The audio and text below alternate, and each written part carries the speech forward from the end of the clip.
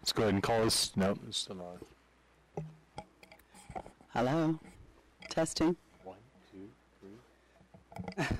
There they are. Ah. Let's go ahead and start this meeting.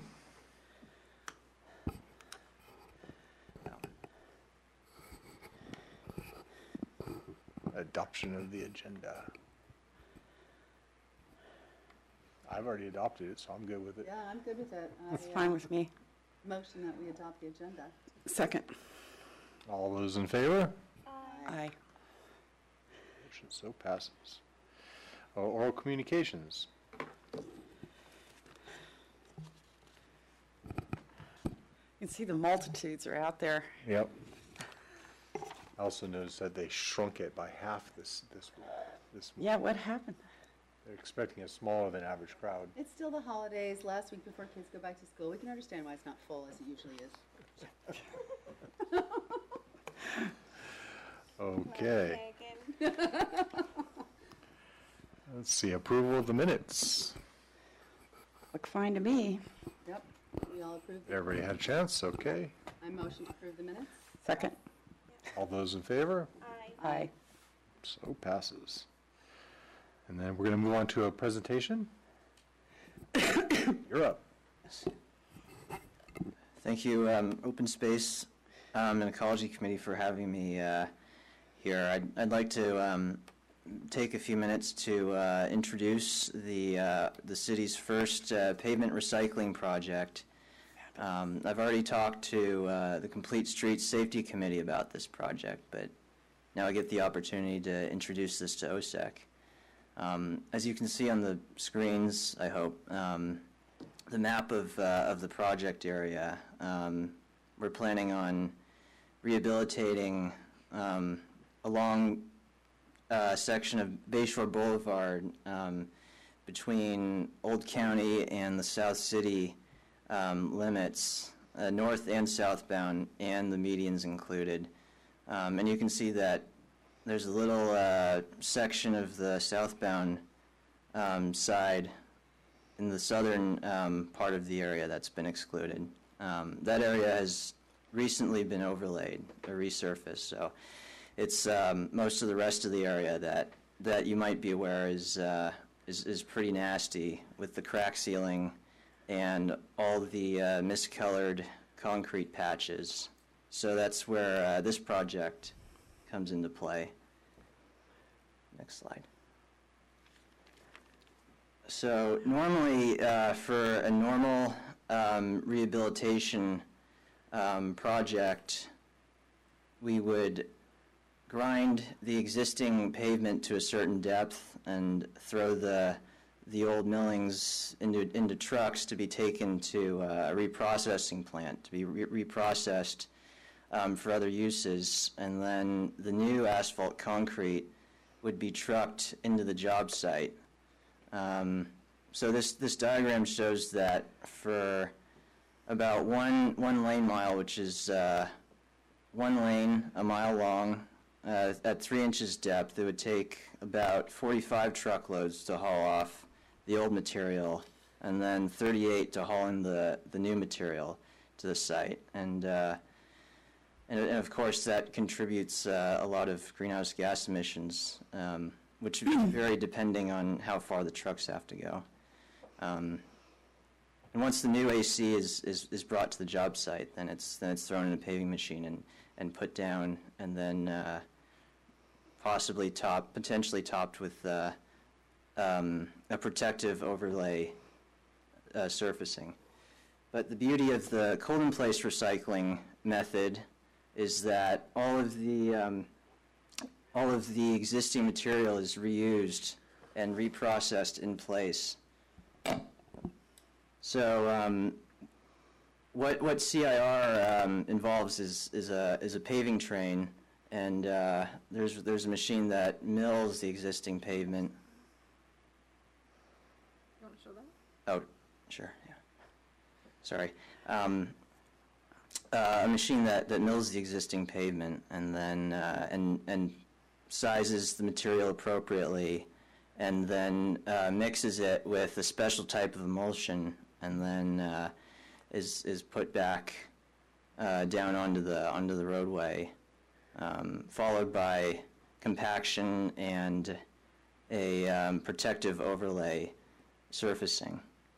So as you can see on the screen, uh, that's what the, the paving train looks like. Um, generally, it, it depends. Sometimes the, there's one machine that does it all, but in this drawing, there's, there's a machine that, that grinds the existing pavement, and there's a machine that sizes it um, appropriately, and, and there's a pug mill machine that mixes it with emulsion, and then uh, either throws it into a paving machine or, or leaves it on the ground for, for the paving machine to, to pick up.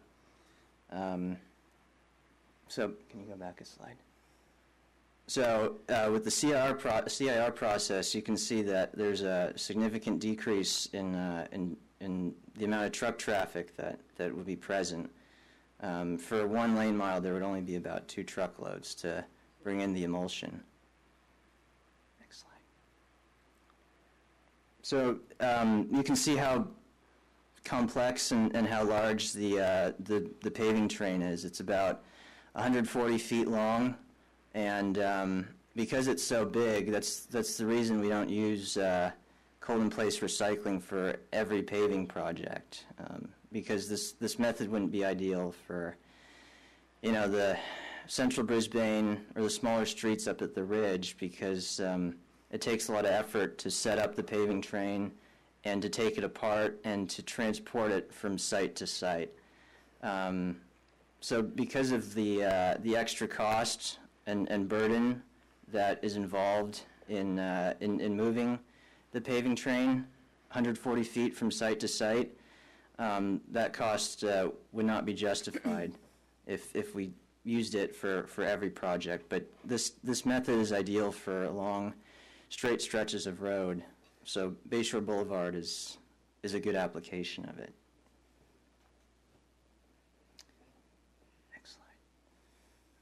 So this is what the, the paving train looks like. Uh, you- You're looking at it from the back. So in the front there is a tanker that holds uh, the, the special emulsion, the liquidy, uh, gooey stuff that, that holds the, uh, the aggregate, which is the, the rocks, the millings together um, followed by the uh, by a machine that followed by a machine that's uh, that's milling the existing pavement and sizing it and, and mixing it with uh, with the emulsion, and then that mix that mixture is being thrown into the paving machine at the back there, which is uh, which is placing it back onto the roadway.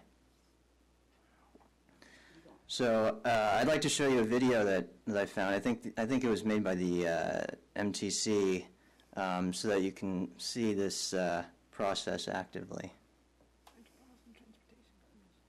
The MTC stands for Metropolitan Transportation Commission. They call it a train. It's a recycling train. They can turn a four-day repaving project into a two-day event. Save millions. Slow it down.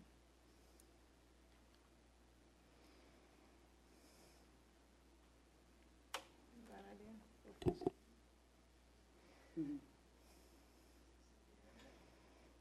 in construction This is good.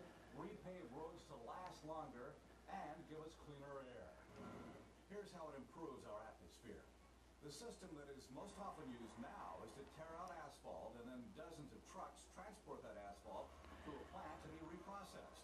Then the plant sells that reprocessed hot mix asphalt back to the city or county and trucks redeliver that asphalt. Transporting the material back and forth generates a lot of CO2. Reprocessing asphalt in factories with massive amounts of heat also generates CO2. This innovative system called cold-in-place recycling keeps all those trucks off the road that are not needed. This unit digs down and turns up, grinds up the old beat-up roadway and puts it right in the middle of the street. The next unit down the line comes along and recycles it right on the spot. The train mills or shaves off 1 to 12 inches of pavement, depending on the foundation depth. Once that's deposited on the street, the next units begin the process of recycling on the spot. The front part of the train, the milling unit, weighs 100,000 pounds. The next unit, the recycling plant, another 60,000 pounds. And the third trailer, what they call the emulsion unit, weighs another 60,000 pounds. The train is 144 feet long. The MTC and the Federal Highway Administration brought 50 Area industry leaders here to watch in hopes of changing the Northern California paving industry with this cold-in-place recycling train. It is a train, the front portion of the train is a thousand horsepower, twelve and a half foot wide milling machine that tows the recycling plant and the emulsion tanker, so that's the word train. It, it only likes to go forward, it does not back up very well, and as you can see by this shot, it loves going straight. Uh, on a good day, or normal day, we can two and a half miles a day at about three inches deep. Then a, a standard paving equipment follows behind, and then the compaction follows closely behind the paving equipment. Cut the time in half, and there's no truck congestion and no truck traffic. Plus the reduction in public inconvenience by, by reducing construction shifts, you actually relieve the public of inconvenience and liability. And by eliminating the trucking, you eliminate truck congestion, fuel, emissions, greenhouse gases. Project here alone in Napa will save about a million pounds of CO2 uh, just in this project alone. So if you can imagine where there's 40,000 miles of roadway through all the Bay Area, that's an awful lot of CO2 savings for uh, our greenhouse reductions. And as we know, uh, our goal at MTC is to reduce our greenhouse gas emissions Bay Area wide by 15%. This tanker in the middle of the train convoy engineered goo into the reprocessed asphalt to make it flexible so it will last much longer than the streets you drive on today. Kevin Donnelly is with Western Emulsions Pavement Preservation. And that engineered emulsion, what's, what's special about it is that it has a small amount of rejuvenator in it. Now the rejuvenator has the ability to soften the old asphalt that's being ground up, reactivate it, so that when we put it back down, you've got a nice new binder. And it also has some polymers in it that help toughen it up and resistant to traffic quickly. So they call it cold in place recycling because there's no heat used in this process. We're not heating up the pavement in order to extract it. We're grinding it out and adding an emulsion in closed system and putting it right back down. The emulsion is about 100 degrees, maybe up to 120 degrees. Not, in this industry, that's considered cold. When you look at the fact that when they place hot asphalt, you're talking 300 plus degrees. The cold-in-place recycling train has just finished two stops in the north. Yeah, just to clarify, um, the project they're talking about is, is in Napa. It's about, um, it's, it's five and a half miles long and it's about two lane miles. Um, and so when Bill Dodd, uh, in the video mentioned, uh, a million tons of, a, mil- a million pounds of, of CO2, uh, prevented from being released, that's about 450 metric tons. Um, our project area is about a third of, of, of that area, of that project, so you can kind of get an approximate um, feeling of, of how much uh, we're, we're preventing um, being released. Um, so that's, uh, that's all I have for my presentation, and if you have any questions, uh, feel free to ask. That's very interesting. Um, Do you know, have they done any experiments to see whether this can be done over and over with this new tech, you know, new resurfacing technique? Can they, I mean, in 10 years, when this asphalt wears, wears out, or five years, whenever it does, can they do the same process to it? Do you know? This well, this method is it's because we're rehabilitating. Um, we're, we're you know replacing uh, three inches of of the existing surface. It, it should last, and we're putting an overlay surface on it too, so it should last. It should last more than ten years. But yeah, if um, I guess if we're ever if we ever have to rehabilitate in the far off future, I guess uh, I don't see why not. Yeah. I don't see why. Right. Yeah, although it's pretty new process. It's it's a new uh, method, yeah. It's uh, and it's the reason why this method hasn't been used uh, for you know for for a long time is that it's you know it it's had to take time to be proven. So it's it's still relatively new, but yeah, I, I don't see why not. Cool. So a couple of other questions that I have. That is, that was very interesting. That's great. I mean, that's amazing. Um, I'm sure the cost involved, but when are we looking at doing this one? And if we did do this and we were going to be transporting, why wouldn't we transport just the other areas and try to get it all done at once into that same asphalt? You know, other areas you were saying that we wouldn't want to do at that time because you wouldn't be able to put it from here to here. You wouldn't want to move the machine, but we could til- still take other asphalt that we needed to that, correct? So so you're asking if, if we take the, the, the pavement that we grind up and we Yeah. just move that to Yeah. the smaller streets? Instead of having to transport, you were just saying, you know, if there was other pavement that needed to be taken care of, that we would take that all into consideration, do it at the same time. Does that make sense? Uh, Yeah. I think what she's trying to say is, is there a way to break the chain apart so you could use individual pieces in smaller areas? Well, the No. cost, the, yeah. It was, too- the, the cost of moving it was too much, so you were saying there might be other areas in Brisbane that need to have, you wouldn't want to use this in every single area. But if you're using it down the Bay Shore, why wouldn't, you- if there was other needs in Brisbane, that we would take it to that location? Oh, that you're close by. It, you know, we're not, I think, super excited to try to do this on the residential streets. When, when you have a hundred and forty foot, Yeah. there are a couple different companies that do it, and their trains are a little bit different. Their lengths may be a little bit different. There aren't a ton of companies out there doing it in Northern California right now. But if it's hundred and forty feet and you're gonna do in Mariposa between Visitation and San Bruno, Yeah, you're not. Number one, nobody's gonna be able to get in and out of their Yeah. house while that thing's in front of it, and it barely gets going and it's done. Okay. Street, so it just doesn't feel like it would work in a residential area And, here. and is this something that we're looking to do here in the near future? Yeah, we, we wanna take it to council on September first and do it before it starts raining, like early October. Wow. Um, Are there any other large? Are there, I s- don't suppose there's any other large projects in Brisbane? You Oh. know, there might be a couple other places, not anything that's kind of a continuous run like that, and we're kind of, we're using all our budget that we have for rehabilitating pavement Okay. on this Okay. project, and it is kind of the worst that we have, but if it's successful, we'd, we'd consider doing it other places. I'm just curious about if, if it used to be respon, if repaving used to be responsible for that many emissions, were those emissions counted in our greenhouse gas inventory in the past? Yeah, well, we talked a little bit about that, like, what, uh, That's a lot of emission. Yeah. Uh, if we, i- i- if we would get the savings, and we haven't, that was a question that we wondered might be asked, and we use, you know, CCAG calculates our emissions for us, or does our inventory, so we'd have to ask them what that savings would be, but I don't know if it is, Okay. Yeah, it just never occurred to me to think, well, I didn't realize that paving roads was responsible for so many greenhouse gas Yeah. emissions. So I was just wondering, you know, where do those usually get counted? yeah.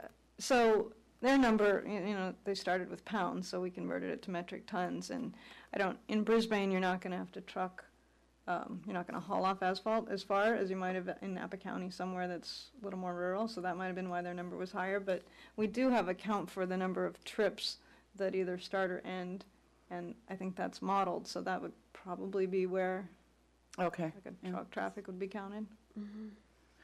Just curious. Thank you.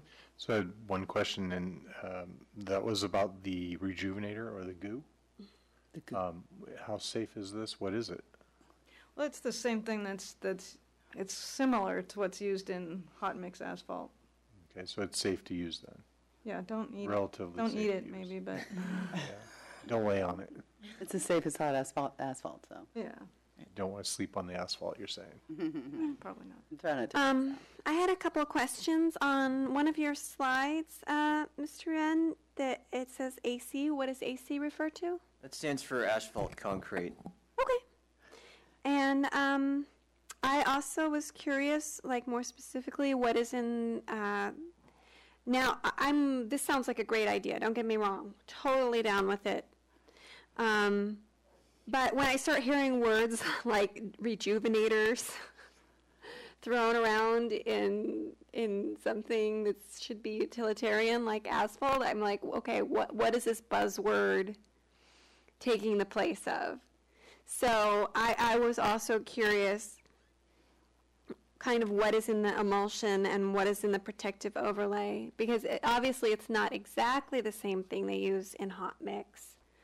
Um, And I, I understand it's probably mostly s- similar, and who knows, we may be, maybe we should be objecting to what's in hot mix asphalt. Yeah, I was just gonna, say, it could be better.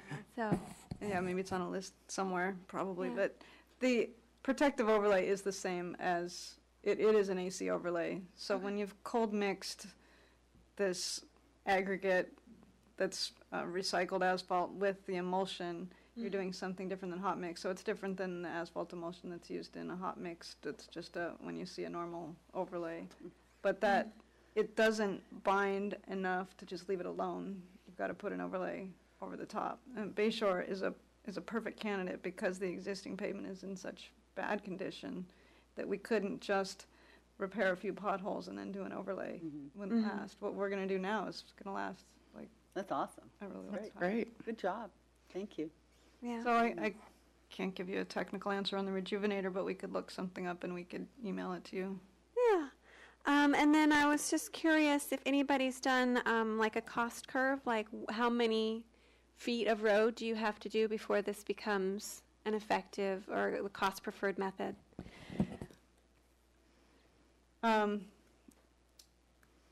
we looked at what it costs versus, um, doing an overlay and just digging out the worst areas, which isn't a similar product, and we've talked to their the contractors in the industry and the people that are trying to promote it and get more people to use it, and they have given us their analysis of what length would make sense. If we were doing half as much of a project, that wouldn't, um, the economy of scale wouldn't make it Yeah. Yeah. pencil out. Yeah. So what what kind of length did they come out with? I'm just curious. Was it? Well, I don't know if they gave us a number, but they said this, where we're doing um, a mile and four lanes is a suitable project. We looked at, um, I've looked at a project, well, this contractor has done the one in Napa. There's Yeah. been one, um, we went out and observed one on Sir Francis Drake in, I'm not sure if that's in the county or in a- a city up there by um, past Fairfax and Woodacre. And we looked at one in Santa Clara. So they've definitely, as these projects have gotten going, brought local agencies out to see what kind of, what kind of applications it's suited to. Yeah. No, I, I totally agree. Um, I was just wondering if you had- guys had a number because then in the future you could discriminate and say, okay, well this project's going to be too small and this project's might be big enough and might be worth going and getting a bid for. Yeah, so it's qualitative at this point. Okay. All right, that was all my questions. Thank you very much. Thank you, Justin. Yeah, thanks a lot. Excellent. So we're going to go ahead and move on to chair and committee matters. I would like to publicly state that I am a ninny butt. because I had the toolkit all ready and to go in my living room and left it there. I should have driven you home to go pick it up. Maybe I should have like driven me home and go pick it up. Cause there it is. Mm, it's not done. Um, I printed out everything recently because I got tired of staring at the screen because it seems like no matter how many times I look at the screen, I find five new mistakes every time I look at it. Um, I was going to go over it one more time then, and I think I'll take those back, those corrections back to the document and email it out to everybody that way. I, I know I've been going to send it to you guys for a while, but it seems like every time I'm about to hit the send button, I think of something else. I'm up to about 30 pages now, so Oh, my. I, I just can't. I need somebody needs to rip it out of my hands pretty soon. Should we set a deadline? yeah, maybe. Next Um, I hope Natalie is going to do some shopping one of these days. Get some stuff. Got a list? Uh, maybe we can discuss that under CAP subcommittee Sure, and uh, talk about all the updates there. sure, we can do that. That's fine. Um, I brought the stuff that Hero sent me. If anybody wanted to look at that, I forgot that last time, and I think that that's all I have right now. Oh, um, maybe this is a good place to say is where are we with the invasive species articles? Because I think it's been a while since one went out. And I kind of thought you took that over for me because I'm I, doing. I too did much. take that over. I sent um, the staff that coordinates the star and the articles that go into there. I sent her two, two at the Okay. same time. Um, and so at her leisure, she will put them in when there's At her room, lea- Not at her leisure, as, as space allows. as space allows. Yeah, You'll get okay. bumped for Yeah. All right, September. might be a good time. I, uh, how long, does anybody remember how many months it's been? It seems like it's been ages, but maybe I'm just losing track of time. They, they n- know that we want the articles in, they didn't have room for the next Yeah. one, so it's not gonna be in September, but yeah. Okay, well, maybe when, before the next one comes up, we can send a reminder and be like, hey, it's been three issues or six months or whatever at that point, and just keep it moving along. That sounds good. Anything else? Nope. Well, aren't, aren't we going to uh, talk separately about the Climate Action Plan Subcommittee, or is that, that where this goes? Uh, that's under item seven B. That's what I thought, okay. I have a couple things under that. Well, let's get on with the review of the city council response to UCP letter on the Baylands.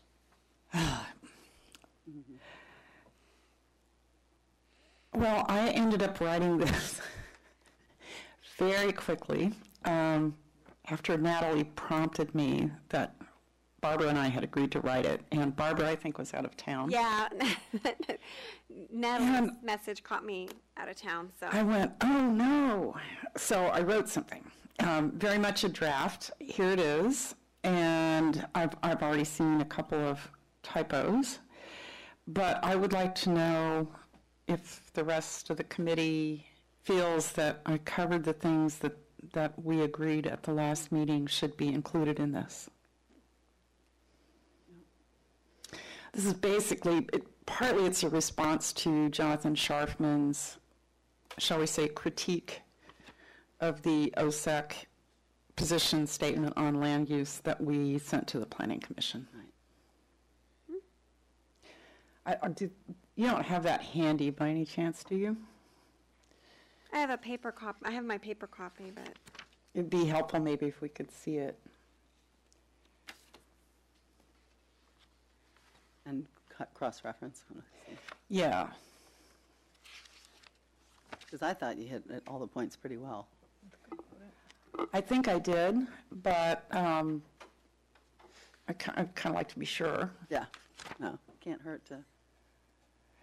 Put it next So, um, going back to UPC's letter, I kind of felt like a lot of, um, whoever wrote this for Mr. Scharfman or Mr. Scharfman himself didn't really, a lot of it doesn't, it's just spurious. I don't really find much uh, value in it. Matter of fact, uh, Mr. Scharfman even kind of sticks his foot in it when he basically says they're not willing to sor- source materials locally because it would be too expensive. And I'm like, well, you know, there you go. Um, I did kind of regret my wording regarding the wetlands, so we could discuss that specifically or not, All right. depending. Yes, you're right. That was something that is not in here, and we should maybe address it. The sense I got from the committee last time was that we didn't need to answer every single point, but I do think we need to answer Absolutely. that one. Yeah. Um, So I don't know. You know, this was just a starting place, It was but I'm great. Glad you remembered the wetlands, because that is something I think we need to say. And then um, the other point uh, that I thought of Mr. Scharfman's was somewhat, somewhat valid is I wanted to go through and read it again and make sure we did not, in our language, conflate the high-speed rail maintenance yard with the transit hub. And because his, Well, his statement here says we did, but I wanted to go through and make sure we didn't. And I can't remember the wording specifically enough. all right, so that's our original letter then. Yeah, that, that would be going back to our original letter. Um, the only other thing I wanted to say about your wonderful, wonderful letter, Glenn, is that, um, while I personally agree with the, your comment about the tripling of population of the city of Brisbane, and that's concerning to me as a citizen, I felt that as open space and ecology, um, maybe the letter should avoid some negative things and emphasize the positives of building elsewhere. It's just a thought. Or write Okay. it differently. May- Maybe we could say the past uses of the site and the importance of Not tripling. wetlands, you know, maybe Yeah. that's where we could put the wetlands. We, we could say the, the importance of the area as, uh, the importance of preserving open space Sure. to allow expansion of wetlands and um, to try to retain as much habitat as possible for species. We could say something like that instead, and, you know, and leave out the, the whole population thing altogether. Yeah. That, that, I think we can, we can fuss about that more, but that was just kind of a directional thing that I thought would be, Well, is that acceptable to yeah, the committee? yeah, that's a good direction. Do you, do you guys want to make these changes, or, sh- you know, do I need to make them? I could also um, respond at some point, Basically, especially. we're talking about changing a sentence to kill two birds with one stone. Yeah, that wouldn't be too hard, but I didn't follow exactly what it was. I thought you were gonna add a paragraph, so.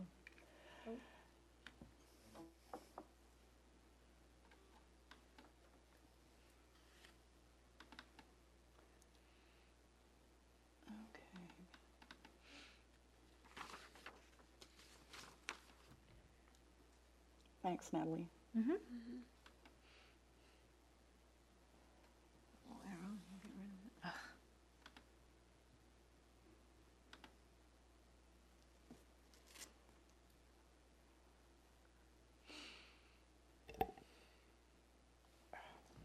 wanna see a specific section?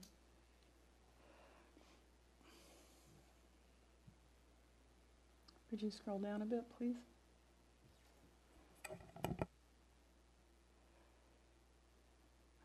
I'm sort of repeating what we already said. I'm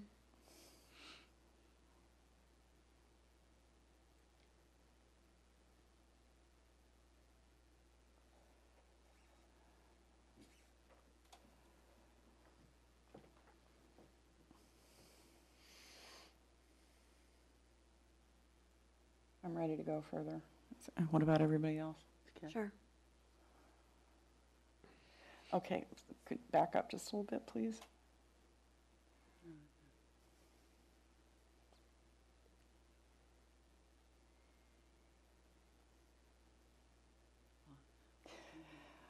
It seems like we separated them. Okay. I don't know. What's the I guess conflation you're worried about?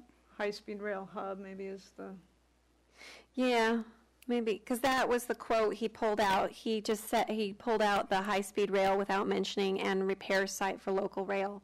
So he was trying to make, trying to make it look like we conflated things and confused our, our, our issues, and I just wanted to make sure that um, we had not, through choice of words, appeared to do that. And I agree with you, Glenn, that we didn't really appear to do, th- I don't think we, we communicated that incorrectly. I thought you clarified it, you clarified it well in this follow-up. Yeah, Okay. okay. So that's a non-issue. I think it's just the Well, way. He didn't want us to mention high-speed rail at all, so Yeah. that's the first paragraph, that we weren't just talking about the development plan. So, so, um, going back to, to the current letter, are we ready to do it? Sure.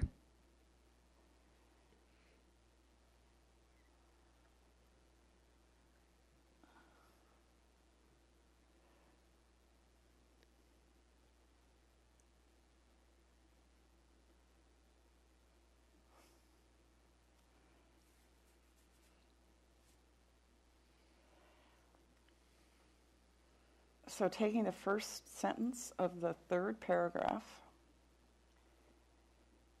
we would strike the remainder of the sentence after the past uses of the site.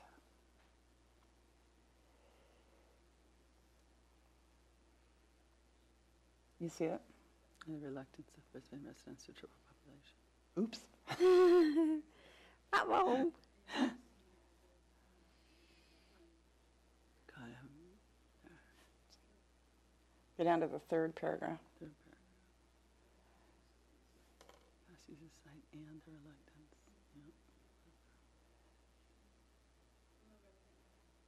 yeah. Remove the remainder of that sentence? Yeah. Yeah.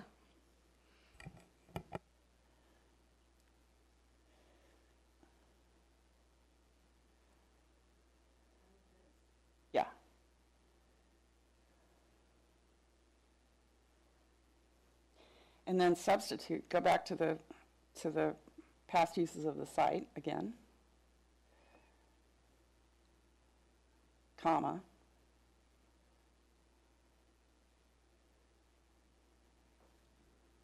And the desirability of preserving open space for wetlands.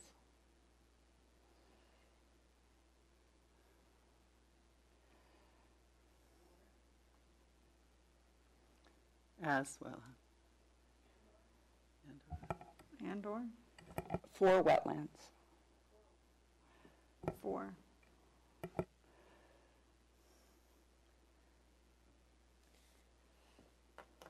And you could put parentheses, a, a climate adaptation. Yeah, climate adaptation zone. Be good. Where are you now? Right where the place. cursor is, just, just back it up, take out the, the period. Put parentheses. Parentheses.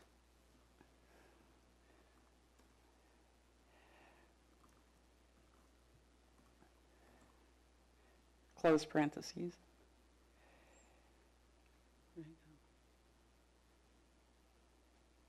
And wildlife habitat.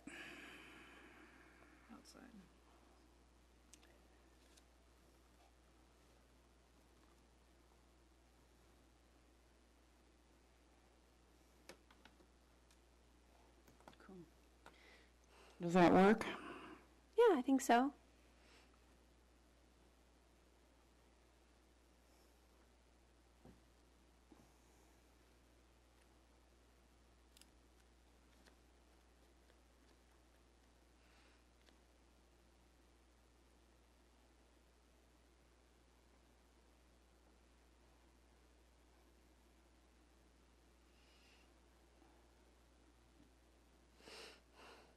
Perfect. I like that fourth paragraph. Done? I like the fourth paragraph. That's good. Mm-hmm. Good. I think that'll do it?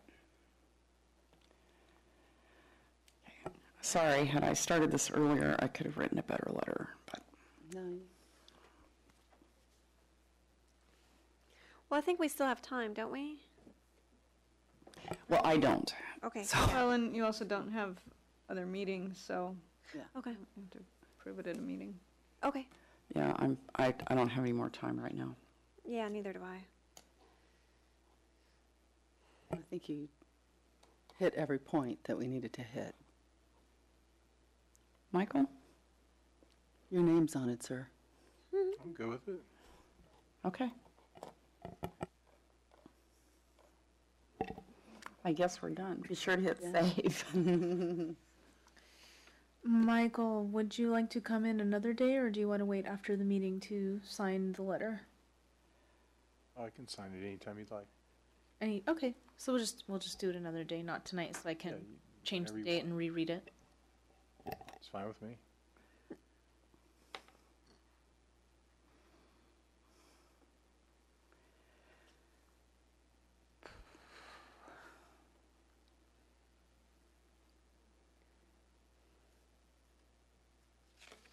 Are, are we ready for the next topic? Yes, you- we are.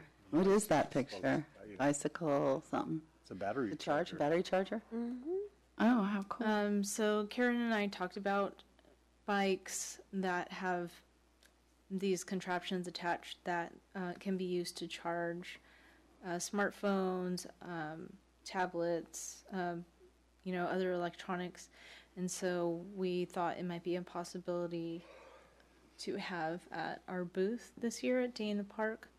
Um, there's still some research that should be done on it um, because the price range varies widely from you know 20 or so dollars to 130 dollars so i just don't know what the difference is and By how long it can charge or something. the- where it's made. right, and, and how compatible it is with Yeah. Mm-hmm. different types of devices. Um, so day in the, the day in the park subcommittee is uh, Megan and Kima. Mhm. So um, it's coming up September 24th. Wow, Here's here's a list of activities we went over in the past, and so uh, maybe we could have a meeting to start to develop some of these materials. Okay, I did talk to, Keema and I got together Oh, okay, before he left. I thought he was going to be back, and before I left, so um, we went through all this. We were wondering what was the budget for the garbage cans and the pictures, the shadow boxes, or whatever. We were going to try to make that. Do we have some sort of a budget? Do we have some area in town somewhere, volunteer people that would build those for us? I mean, how could we make that happen? There's, OSEC has budget for special projects, so I don't know that it's broken out today in the park. We've spent, what did you say? We spent almost 200 last year. Yeah. Okay. So, um, Hmm. maybe maybe we can talk about it more Okay. and then determine how much you know where we want to spend that money as far as All right. these materials go. That sounds good. Um, what was our budget answer for people? Toolkit, we've got that.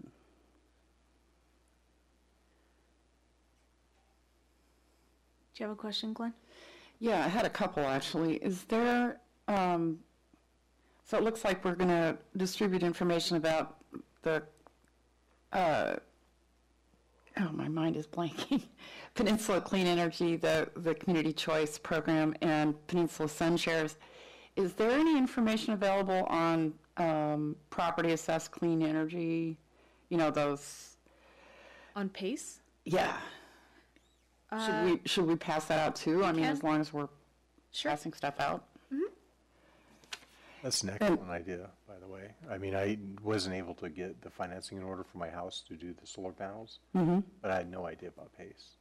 Oh. And now I do, and I'm starting to put, move in that direction, so. Good. Oh, cool. Ha- Where did you find out about it? What did you, Uh, I was, I was talking to Skytech, I think, is the installer for Peninsula Sun oh, okay, so, so they'll They tell you when you, yeah, And I, so I finally, I've asked like five or six different representatives from the company, and finally this one guy said, this is who you talk to, and he gave me a long list, okay. so. So- So do we have information that makes it clear who people should talk to about PACE financing? Do we know? Is San Mateo Energy Upgrade putting out stuff about it, or, Well, I think um, each agency is deciding which ones to adopt individually, and we've adopted Hero and another one, and we're, I, I think it's on, going to be on the council's agenda to adjo- to adopt an open pace that's like another five companies. Um, We definitely have their information at Day in the Park. I've seen, I've heard um, ads on the radio for Hero lately, it seems like they're okay. being. Just if there's something Supposed to be. clear to hand out to people. Yeah, Um, and I- I think we should also have it at the n- next round of the Peninsula Sun Shares if it's not Absolutely. being linked together, yeah. And the, the second thing I had was we've always had a, a board with, you know, invasive species Mm-hmm. on it. I, we probably still have the boards, or maybe it's time to buy some new boards. We got new boards last year. You Oh, went there. did? We did it. We redid the boards last year. I'm just wondering, this is probably a dumb question, but, but if we're going to talk about invasive species and alternatives, um, couldn't the, wouldn't it be worth it to talk to Mountain Watch and see if they'd sell some plants? I mean, can we do that? Well, we're going to be right next to Mountain Watch, so we can always Will they have have them sell plants for plants sale? there. No, but that's a great idea. I don't think they've ever sold plants before. Maybe they could at least bring the suggested alternatives? Uh, yeah, some of them. Yeah. Yeah, Glad Michelle. Michelle's not here. Michelle staffs that booth normally, Mm-hmm. so you can just send an email to her. I think it was quite a long time ago, maybe five years or so. I seem to remember that somebody was selling plants at the at the community festival, and it was nice. I think they sold quite a few. But if you know, if they would bring some and sell them, it would be nice to say, "Don't plant this. See how beautiful this is." I, I kind of like that idea because we always bring like what not to do. So here we get to bring what to do. Yeah. you know, show them what works instead of what always doesn't, so. So maybe talk to Mountain I Watch like and that. see if they could do Plus, that. nice, fresh, clean, pretty plants are better, a bunch of dead things that are stuck on those things. Seriously. Yeah, I mean, they'll, they'll look very unappealing, half dead and stuck to the board. They won't stand a chance compared to some nice, beautiful potted plants from San Bruno Mountain Watch. Okay, so we'll, I'll talk to, Mi- we'll talk to Michelle about that. I, I'll send that out to her so we can have that added. Are you Yeah, guys she'll do going to um, collect new samples of? The invasive species, I think we'll just go the opposite route this time. Nobody really looks at them. We did it all last year. Really, they were like, that's nice. Show us something. Pretty plants, that'll sell. Okay. And that's, we, ti- we decided anyway at another meeting that we weren't going to go down that route, that we have so many other things here to share. Mm-hmm. You know, it's too hard, the wind comes in, you have these boards coming up, it's just, it's not conducive. You know, another idea for that might be to take some pictures of the mountain where invasives are really a problem. That's a You know, good instead idea. of showing the plant Yeah, itself. actually take a picture, look at what this mountain looks like, and these are the, the butterflies or whatnot that if we don't keep this, Yeah. and Unfortunately, bringing people to Restoration Day too, I mean, really promoting Restoration Day. unfortunately, it's not a good time of year to do that, but you could probably get a couple photographs of the baylands covered with pampas grass and um, there's fennel infestations all over the place. Isn't there always Scotch broom? Always. There's Yeah, always it's hard to such, identify when it's not blooming, yeah, you're right. but you can get pictures of, of French broom on the internet. Yeah, that's what I did before. I had little pictures up next to the ones that I, it just made more sense. It was easier. But maybe a little picture book for people to go through instead of, Yeah, we have our invasive species flyer um, Yeah. that Yeah. contains, I think, the top that's fine. eight or seven. That's fine. We just keep that flyer out there. That's already, the pictures are there. But I do like the idea, so I'll talk to Michelle about, um, I'll follow up with Michelle about that. Okay. She's in Mongolia and out of um, range for the next, I think, two days, three days. Mongolia? Yes. How exciting. Yeah. So she won't be around for three days. I mean, she's like without cell service. She just, she sent it through Facebook today. Yeah, she's had a pretty interesting trip so far. Anyway, so I'll talk to her. Um, so item number two, it's not education on what's compostable so much as what's recyclable. Because we're not gonna like actually. It's total recycling, yeah. Yeah, because we're It's the gonna whole like. picture. It's not just education on, yeah. Yeah, because we're not gonna like tack moldy pickles up to the shadow box board.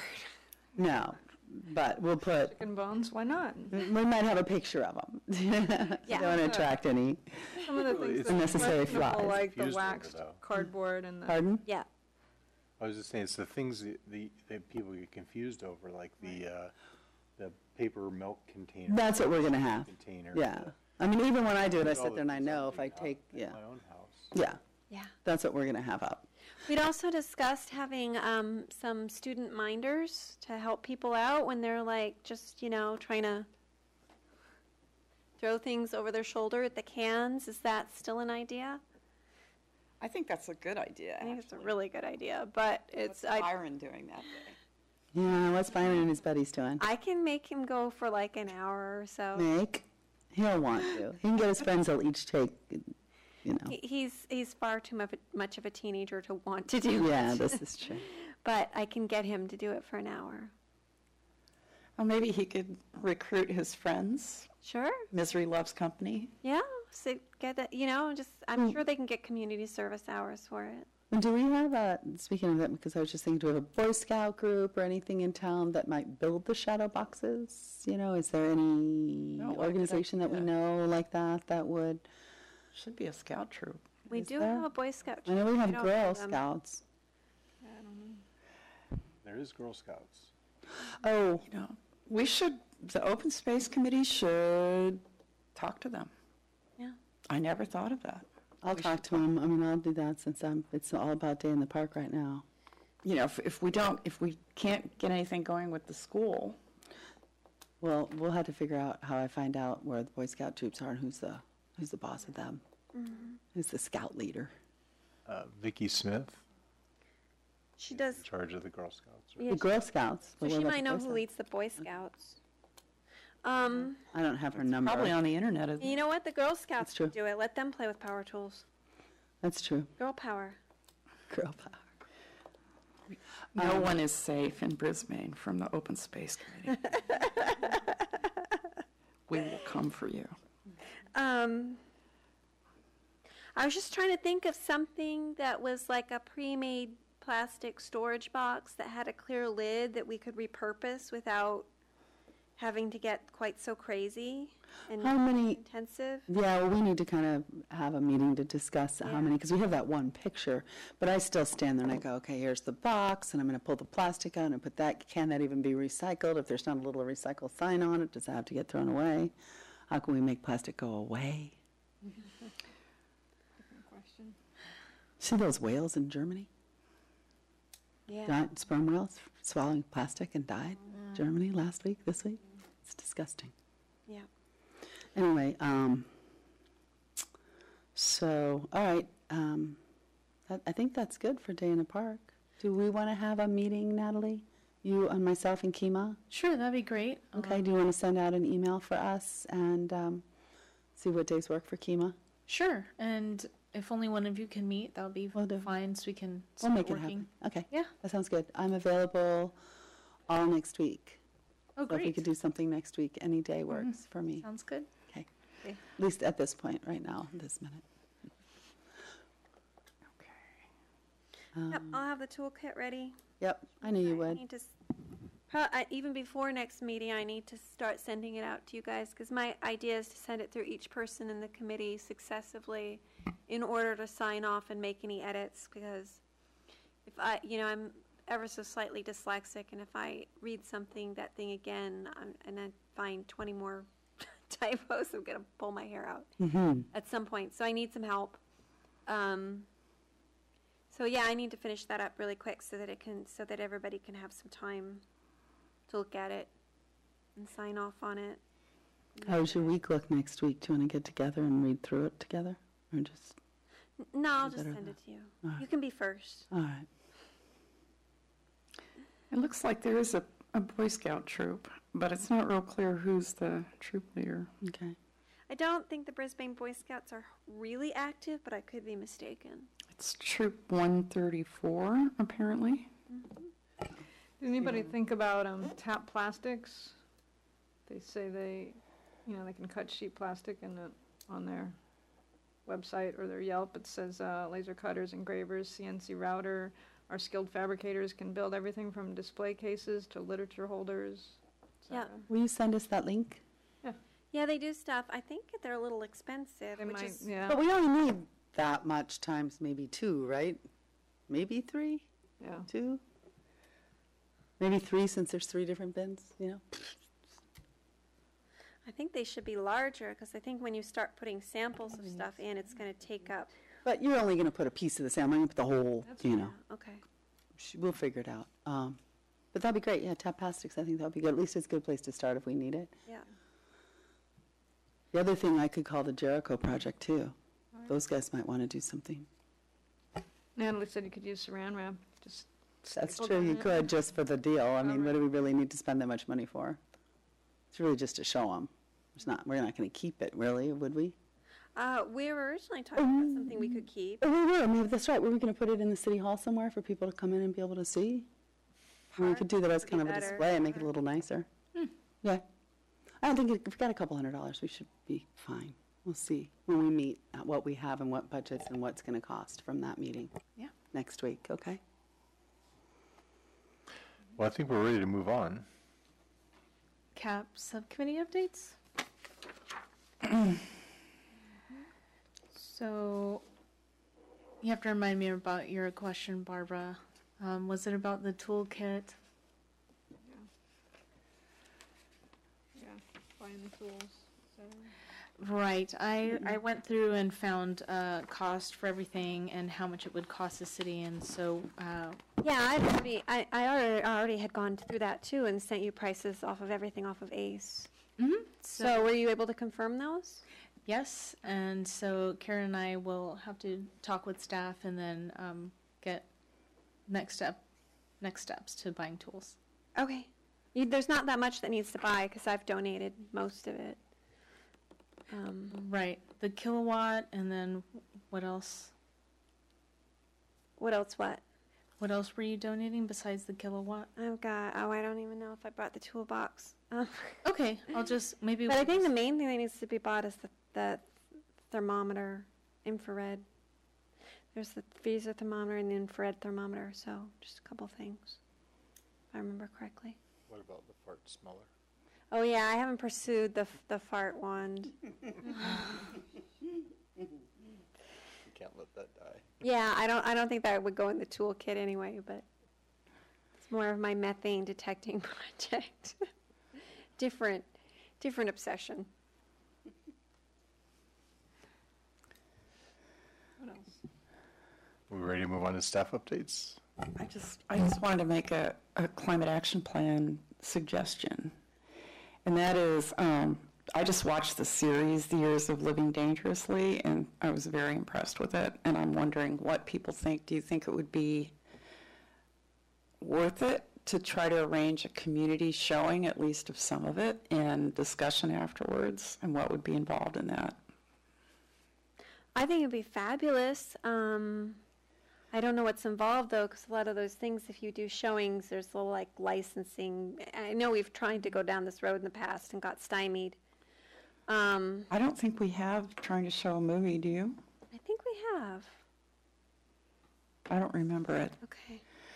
Could, could we maybe see if that would be possible? Sure. Maybe do it, I don't know, maybe at the community center in the library? Would we have to, do we have to rent that? Right, that's just through Park and Rec, so that shouldn't be a problem. Mm-hmm. I don't know, what do people think? Yeah, I watched that series too, and I, I was really good. I mean, I wasn't blown away by it, but it was good, and it was definitely not something. I think it's definitely enough information. I think maybe not showing all of it. it- It's pretty long by the time you get through. Yeah, it's, it's like eight or nine episodes altogether. Mm-hmm. But sort of as a vehicle to start conversation, I guess, Yeah. was, And some of the episodes did get a little rep- repetitive. Um, so I think it, we could do, yeah, if we can get the licensing, I would totally be behind that. I think that would be awesome. part of the reason I want to do something like that is that, you know, we talk about, we talk about climate change in, you know, what we can do, or what we think we can do in our city, and we talk about adaptation, but this is a huge international justice problem. I don't think people quite realize how bad it already is for a lot of people in the world, like in Bangladesh. And so it seems to me, you know, we need some consciousness raising around that. Absolutely. And I, I felt like the, the episode that showed Bangladesh, the two episodes that showed Bangladesh were really powerful. And that, you know, the people need to be made aware of that, that what we emit here is really screwing, screwing people's lives up elsewhere. Yeah, absolutely. So would, I guess the first step was, would be to have staff just look up the, see what their licensing conditions are? Yeah, You know, there's anything that's public viewing, charged or not, is often taboo, but they, you know, they may be on, they may have a more generous end use agreement since they are trying to accomplish something. Well, the first, the first episode, at least for a while, was, was available online for free, and the first episode is also pretty good. Um, and I've also heard that there, there's going to be a second season of that this Oh, year. wow. So, so maybe, you know, that way all we need is a TV with, with that cable channel. And we could have watching, you know, watching parties or something. Yeah. That'd be fun. Popcorn.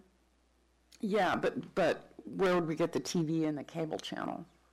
we have it here. Can It's supposed to. I think it's on National Geographic. Um, Showtime isn't, what I think I read was that Showtime isn't going to do it. They've handed the whole thing over to the National Geographic Channel. But I don't know what the broadcast schedule is. Okay. Something to check into, I guess. And there was something else I was going to say about CAP, and it just escaped me. So it can't be that important.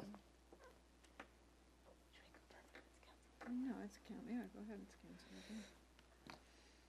I'm sorry, you had a question. No. No, I, I had something else I was going to say, and I just forgot what it was, so can't be that important. Or else maybe I'll remember it before the next CAP meeting. About that, yeah, so to, just confirming tomorrow, is it, are we canceled? Yeah, I guess. I would sure prefer to. Yeah, that's fine. Okay, I'll send out an, an email to reschedule. Thur- Thursday afternoon is still okay, it's just maybe not that Thursday afternoon. Okay. You had some, uh, staff had some stuff they were having a hard time getting done, or? What is, well, we know that on the, um, energy conservation stuff, we want to talk to the liaison, so we're getting that set up. We're gonna have a quick introduction with them, and then we hope to have them at next month's meeting. And so that's kind of, you know, we came up with the outline at the last meeting of what we kind of wanted to see, get their take on. And we just, we haven't done much either on the training. Okay.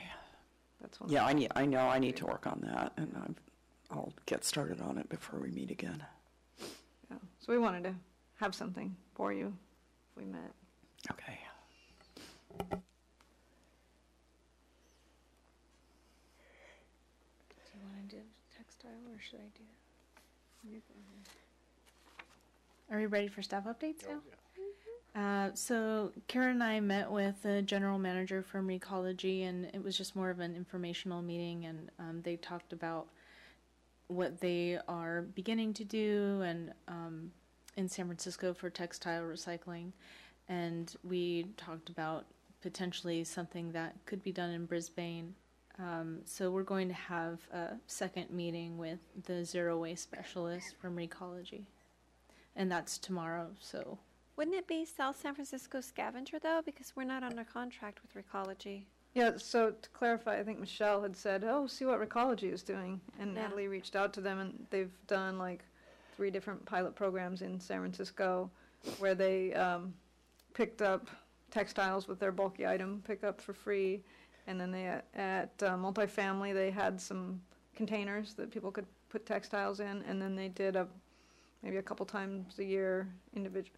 No, they, they actually started collecting it at some point with in their recycle bin. It's all combined in San Francisco because they have a sorter, but I guess the textiles really jammed up their sorting, so they told us they're upgrading um, what their sorter for recycling so it can handle textiles.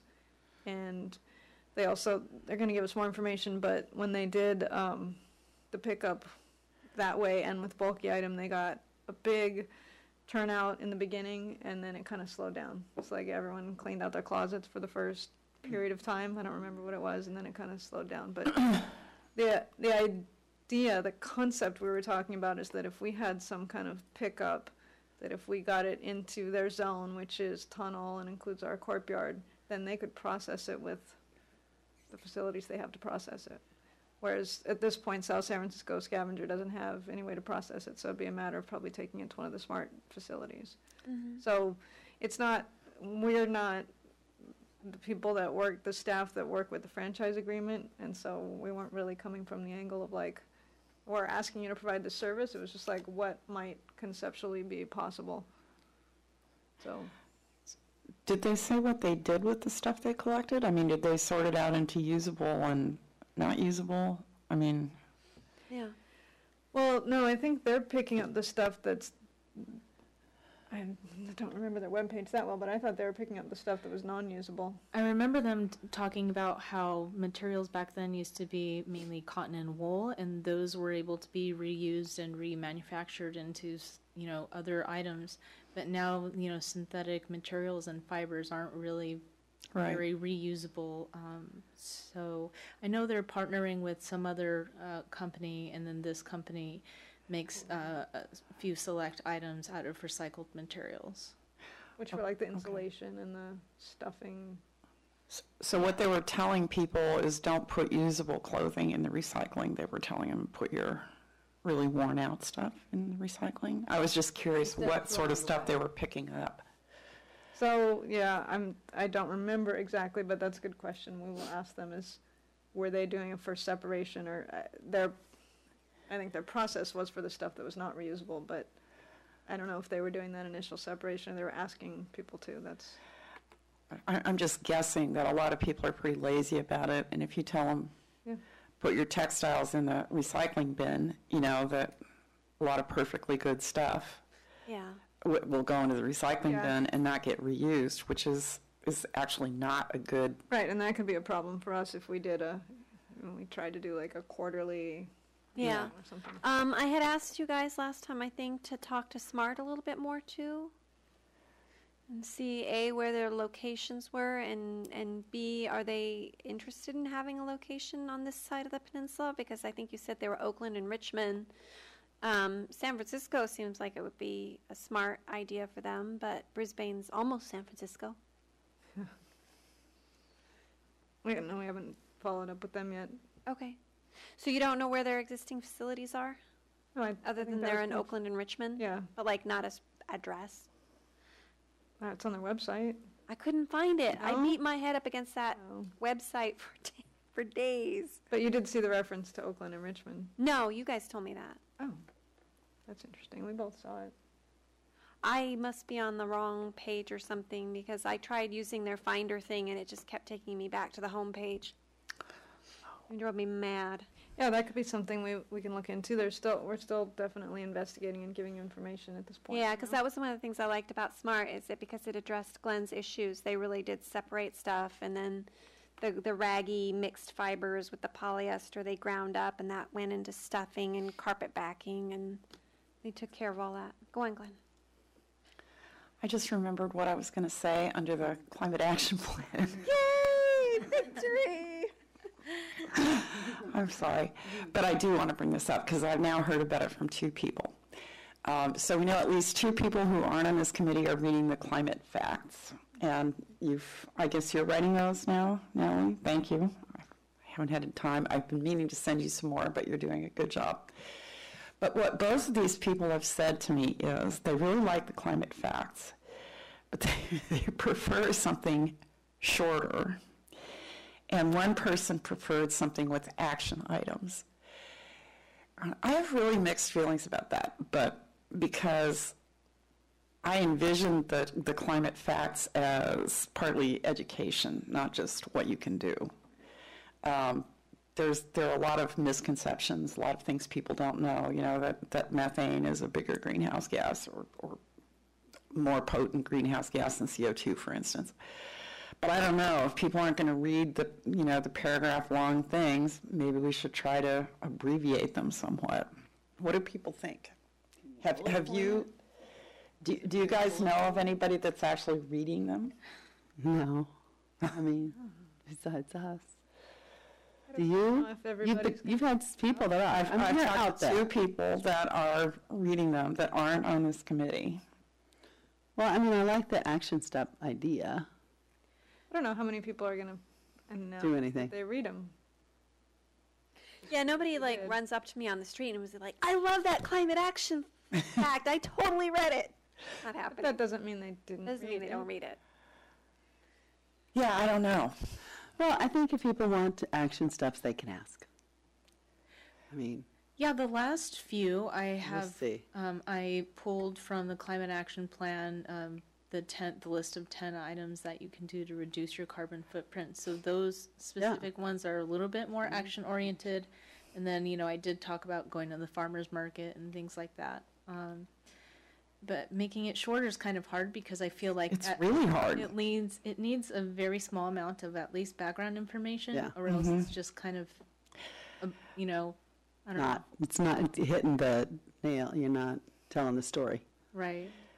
Yeah, and I, th- I think, I don't know, I think the story does need to be told at least, you know, and, and even a couple sentences or a paragraph is not telling a whole heck of a lot. This is, you know, it's reasonably complicated. It's not that long. I mean, so that's what you can't, you can keep doing whatever everybody wants, but I think we do what we feel is best and move on. Mm-hmm. Anyway, I did, I did tell one person that I would bring this up at the committee, and I'll tell her that we discussed it and decided to continue this way, at least for now. And when we have the ability to add action steps to it, we do. like Yeah. you did with this last one. Yeah, and if I could make it a little shorter, I'll try. Okay, thank you. It's hard, though. I, I know. Anyway, sorry to interrupt the sequence. Textile, are we done with that? Mm-hmm. I think we beat it up. So the the last restoration day was uh, on the 23rd last month, and there were about 13 volunteers, and it took place at Sierra Point Canyon, and it was basically focused on um, ivy removal and especially uh, removing ivy f- that were wrapping around trees. Um, so I think Good. they cleared out quite a bit for the small amount of turnout. With they pretty much filled an entire bin, so it was pretty good. Um, skipping ahead a little bit to Lagoon Cleanup Day is on the 17th next month. Uh, meeting spot will be at Fisherman's Pier along Sierra Point, and the Costas Cross Road is Lagoon, and it starts at 9. One more thing about restoration, um, Restoration Day, I was, um, working with the Jericho Project to move some big items for me, needed big guys. And I told them about Restoration Day, and they're like, tell us when, can we come, can we do it seriously? I mean, they were so excited about it. Wow. All those Jericho guys, they're like, Wow, that's great. yeah. So I wanted to share with you that they're like, when, tell us all the dates you have, we want to do this. Lagoon Cleanup Day is the last event for this year. I know, I told them, I think most of them were done this year, but they're like, mm-hmm. we're here next year. Yeah, I mean, there's a, there's tons of trash to pick up along Lagoon Road. I don't know Yeah. if they want to pick up trash. Absolutely, they love this. This is what their whole thing is about, your spirituality. Yeah, I mean, do we send like a poster to the P, the HR department of each company in Brisbane? So that, No, companies that have expressed interest to me in the past, I keep their contact and I uh, contact them again the next year. Because I talked to the DoubleTree too, because I books, just booked some rooms there for a client of mine. And um, she, and I told the salesperson about it, and I told the director of sales. Yeah, I can ask the chamber. They do a e newsletter. I can ask them to put a, out a, a blast about it. Yeah. Yeah. That'd be good. Get those numbers back up like they were. If we don't do it this year, the 17th, but I'm thinking next year, those guys were really, were, they were really sweet about it. Yeah. Yeah. That'd be easy enough to get Yeah. them, get them the information.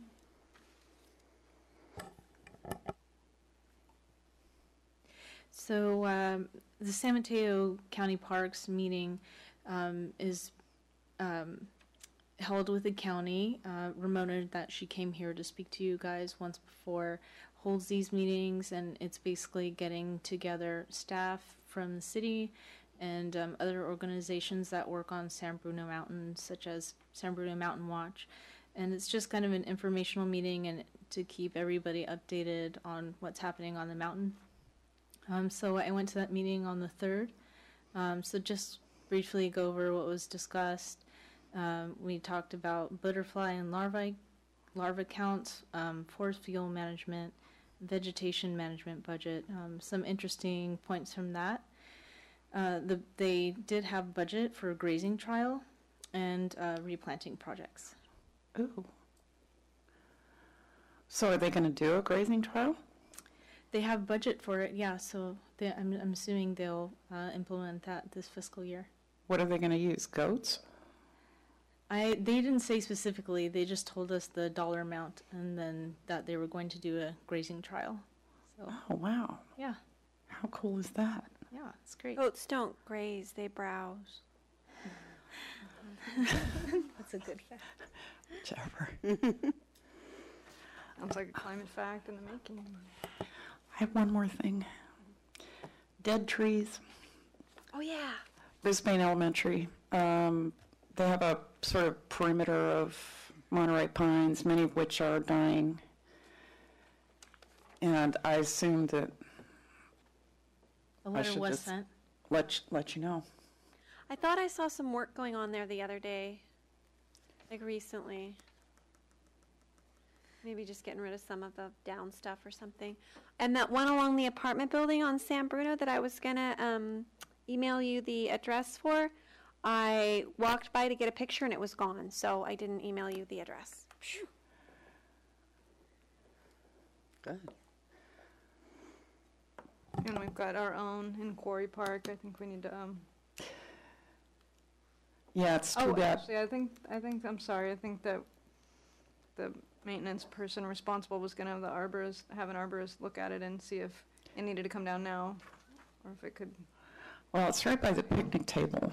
I don't know if you guys heard about it, but some, somebody was walking through a park in San Francisco this week, and a hundred-pound branch fell off a tree, and she's in the hospital.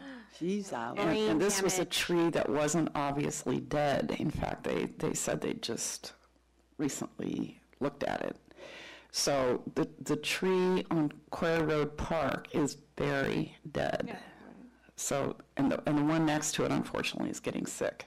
yeah, So, so that's potentially a liability issue. yeah. Yeah. don't Want that, yeah. Yeah, I, the- I wrote to the, um, Public Works about that. that, that woman has, has like serious brain damage issues. She's in bad shape, Terrible. yeah. Poor thing. Yeah. Uh, so I have two other updates about workshops. So we are hosting a Peninsula Clean Energy Workshop here on the 29th at 6 p.m. in this room. And the second workshop, um, it's about sun shares, and that'll be in this room on the 31st at 5:30.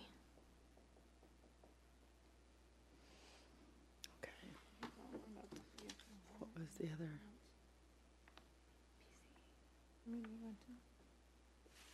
Some shit. Adoption and all that, you don't remember, What was the other thing we brought up about some shit? those were good notes. Five thirty is kind of early. You think people are going to be able to make that? Um, so that one, I believe, is on a Wednesday night, and so we do have a second workshop um, on October 8th, and I believe that's on a Saturday. Okay. So you said August thirty first, five thirty, right? Yes. Okay. Or the 29th. Uh, Was it also 5:30? On the 29th for the PCE workshop, it's at 6 p.m. Do you think, speaking of workshops, that there would be any point on having a workshop on PACE financing for people? At the Peninsula Sun Shares, um, we will have staff from the county talk about their home energy upgrade program. okay. Um, mo- most likely at the end of the meeting. Uh, And they'll this- talk about it then? Yeah, this, this meeting on the thirty-first, um, we're, we are, um, there's another meeting in, in this room after that workshop, and so it won't be as long. Um, but the following on October eighth, when they'll come again and talk about home energy upgrade, and I think, you know, it's a, a Saturday, so, you know, they should be allowed more time to talk about it in detail. Okay. Thank you. Thank you. Yay. Adjournment. Can I get a motion to adjourn? Or do we need to set next meeting first? We have it's the 21st. Yeah, it's the twenty first. Unless there's any problems, I don't have a problem with Is that it. a I don't Wednesday? think. Yeah, it's a Wednesday, the 25th at 6:30. You know, same place, same station. Okay. Okay, we're good. Can I get a motion? to adjourn? Who's going to motion? I'll make a motion to adjourn. I'll second it. All in favor? Aye. Aye. Mm, yeah. Nice. Wow, it's a record. It's a record. not even Kima eight would be so o'clock. proud. He'd be very proud of you.